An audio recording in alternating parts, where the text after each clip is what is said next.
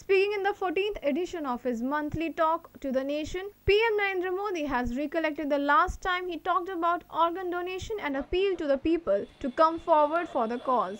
PM said when organ is transplanted in another body, not only the organ gets a new life but also the body. He said that on 3rd December we will mark International Day of Persons with Disabilities.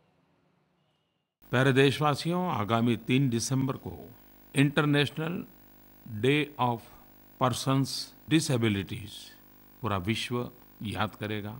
पिछले बार मन की बात में मैंने organ donation पर चर्चा की थी। ऑर्गन डोनेशन के लिए मैंने नोटों के हेल्पलाइन की भी चर्चा की थी और मुझे बताया गया कि मन की उस बात के बाद फ़ोन कॉल्स में करीब सात गुना वृद्धि हो गई और वेबसाइट पर ढाई गुना वृद्धि हो गई।